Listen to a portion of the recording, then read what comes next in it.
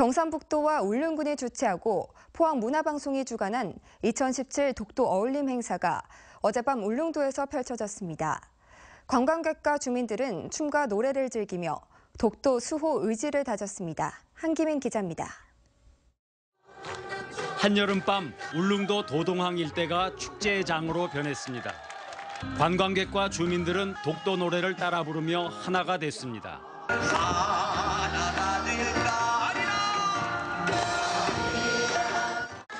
포항문화방송이 올해로 9년째 마련한 독도 어울림 콘서트. 장사익과 남상일 등 국악인과 가수들이 독도 사랑 노래를 열창했고 울릉도 초등학교 학생들의 광복절 노래에 이어 독도 경비대원들도 마이크를 잡았습니다.